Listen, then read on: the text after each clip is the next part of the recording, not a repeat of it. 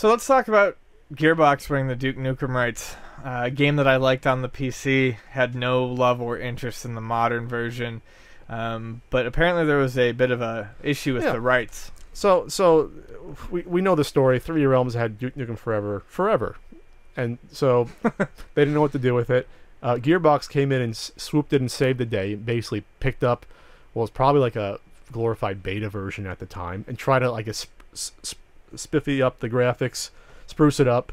Um, and then slap a coat of paint on it, and it still looked kind of dated for 2011. Or, Oh, like the truck driving levels? Yeah. Look, I mean, ridiculous. It was like five, six years old by that point, but people, it, they just wanted to get it out. But part of the deal was with 3D Realms is that Gearbox, if, in finishing up the game, purchased the rights to Duke Nukem going forward to make games. So apparently there was a little mix-up though when 3D Realms was bought out by developer uh, Interceptor Entertainment. So they thought by buying uh, 3D Realms that they could make Duke Nukem games. So they started uh, developing a, which sounded fairly interesting. It was like a RPG uh, action game, I guess like overhead game, and it was going to be called Duke Nukem Mass Destruction. Um, so they're they're they're under the impression that they had the possession, they were possessor of the the Duke Nukem uh, copyright and the character trademark. Whoops, they weren't. Oops. It was Gearbox. Um, so what happened was they announced the game, and Gearbox is like, "Oh no no no no no! It's our IP, it's ours, not yours." So eh, they went to court. This has been going on for a while now, and but it was actually settled. And Gearbox, which rightfully they had the rights going back for probably five years from now, by now, um, they win the rights to it. So so this game that's coming out, Duke Nukem Mass Destruction, I think they're changing the character to someone else. And basically, the game the game will still be able to come out, but not Duke Nukem. They'll just swap out the main character and whatever else. Well, if it's a good idea, I mean, hopefully it would still be able to Yeah, on and its they- own. and they came out. Everyone's like, "Oh, well, it, this was a good decision." You know, all the companies are doing PR bullshit. But uh, what are the odds you think that Gearbox is going to come out with another Duke Nukem game? Though that's what I want to ask. Not that the, the last one didn't sell badly. It got bad reviews or mediocre reviews, but didn't sell badly. It also immediately plummeted in price. I mean, that game hit the 99 cent pile quicker than almost anything that I can remember. Um, I don't know. I think it's funny because I think this is like fighting over a chicken wing that has no meat left on the bones. Uh, you know, people got pissed at me for for for knocking Duke Nukem because I thought the most recent one was a little bit over the top and maybe a little mean spirited in how it it handled itself. But even if it was fine, it's a relic of the 90s.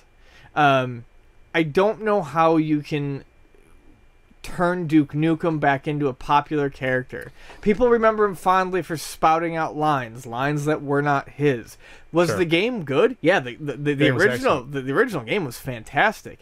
Um, and sure, if you make a great game again, which any good development company can, you can make Duke Nukem relevant again. But I think there's too much of a tarnish on that name, and it's too much of a relic on the past for them to really risk a whole lot of money on development.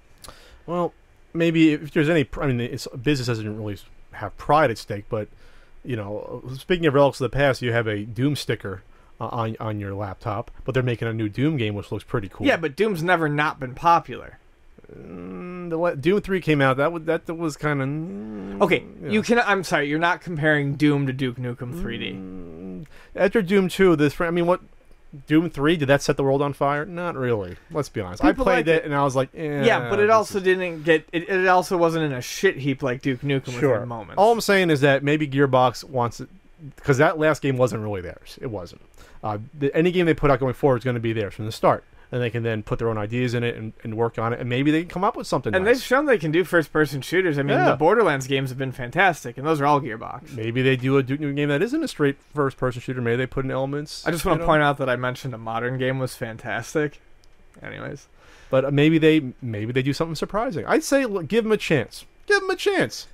Uh, There's I it's an iconic. It's one of the most iconic game characters, at least on the PC. Still, I, you might think it's tarnished, but people say Duke Doom. Let's put it this way: if they announced that, if they come out with an announced trailer, that thing would get you know 10 million views in a day for an announced trailer for Duke Nukem. if it actually looked like it stood a chance of being as good and amusing as Duke 3D, yeah, I'd I'd probably try playing it. I just don't know that I have faith in that character being revived. I think I think any character, as long as you write it s- smartly enough, you could do it. You know what would get me to buy it if it included the Apogee side scrollers. Those were a lot of fun. Why can't they do that when, when they changed the, the spelling for the, because of Captain Planet and they changed it back? oh to yeah, Duke Nukem with the U? Nukem. Yeah, yeah. they got- yeah. Then it wasn't tra- it wasn't uh, uh, trademarked.